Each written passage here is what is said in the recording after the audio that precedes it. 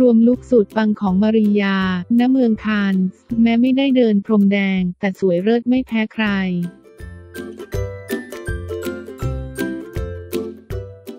สวัสดีค่ะ มาพบกับเรื่องเล่าข่าวข้น วันนี้มีเรื่องราวข่าวบันเทิงมาให้เพื่อนๆได้ชมกัน ถ้าพร้อมแล้ว เราไปชมกันเลยค่ะ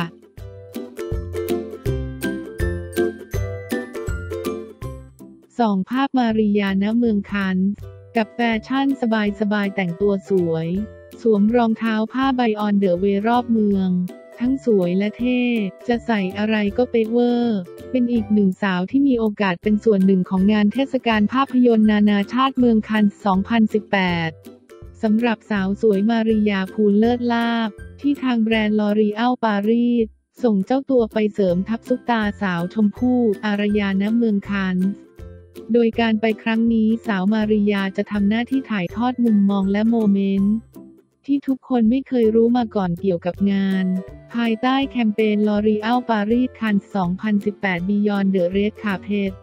อัปเดตทุกความเคลื่อนไหวของคันปีนี้แบบ Exclusive วันนี้ 14 พฤษภาคม 2561 เราได้รวบรวมลุคสุดปังของสาวมาริยานะ เมืองคานมาให้แฟน ๆ ได้ชมกันด้วย ซึ่งต้องบอกเลยว่า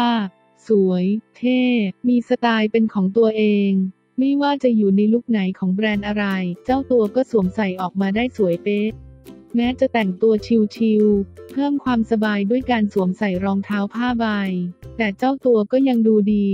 โอ้ย คนสวยจะใส่ชุดไหนก็ปัง จะแต่งยังไงก็รอด แต่จะเป๊ะแค่ไหนไปดูกันเลยจ้า ขอขอบคุณข้อมูลดีๆ จากกระปุก .com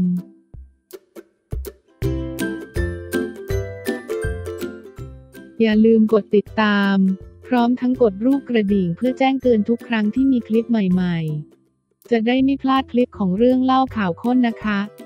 รักทุกคนค่ะ